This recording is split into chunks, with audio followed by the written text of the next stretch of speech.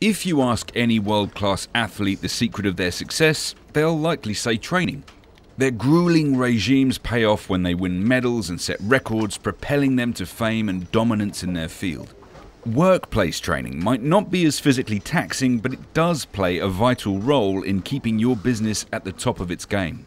It equips staff with the power to be able to stand up to challenges, get over hurdles, and get ahead of the opposition.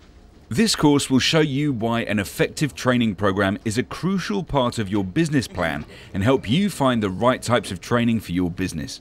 It will also guide you through setting up a training and development plan that will make your staff a force to be reckoned with.